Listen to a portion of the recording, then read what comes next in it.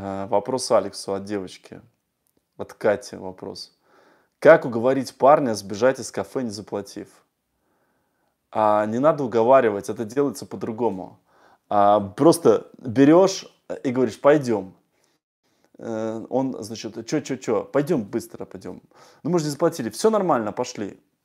Не надо говорить, что ты не заплатила. А когда уже вы ушли, тогда ты ему говоришь, мы не заплатили.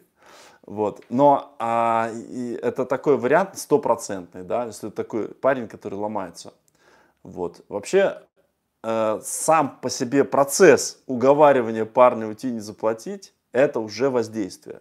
Потому что ты разводишь его на, э, на нарушение правил, уже выводишь из состояния равновесия. Ведь это, вот эта фишка, да, а, которая э, есть в книжке, я не знаю, она в книжке или нет, или в кодексе, или она в охоте, ну, в общем, где-то ты вычитал, наверное, а, значит, э, уйти и не заплатить. Это фишка из нарушения правил. А зачем нарушение правил происходит? Чтобы вывести состояние равновесия, чтобы дать эмоции, да, и э, само э, общение об этом уже дает воздействие. Даже если он побоится сделать это, поэтому это все хорошо. Даже если ты начинаешь об этом уже разговаривать, уже э, ты его волнуешь, уже сердечко бьется, и можно дальше там всякие фишки делать.